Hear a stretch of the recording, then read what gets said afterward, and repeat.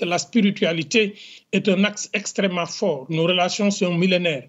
Et le nouveau président a compris que euh, la position de ce que nous appelons la cosmopolitique sénégalaise fonctionne d'abord sur notre, notre base religieuse et que cette base, nous la partageons avec le Maroc, qui est une terre sainte pour nous, qui est un lieu de pèlerinage pour nous.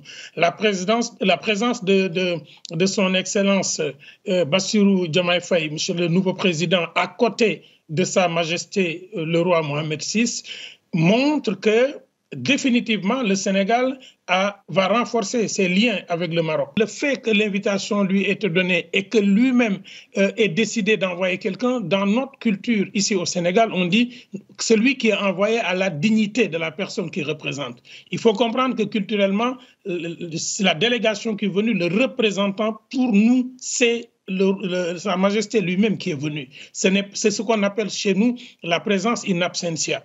Et cette forte présence, cette désignation de quelqu'un pour le représenter, même si physiquement il n'était pas là, pour nous, c'était lui qui était là. Et c'est ça qui est extrêmement important, euh, l'acceptation de l'invitation. Et cela montre aussi que euh, le, le, nouveau président du Sénégal a décidé de confirmer ce qu'il avait dit, que la réorientation des collaborations va se faire sur la base des intérêts du Sénégal et aussi de nos valeurs et de nos croyances.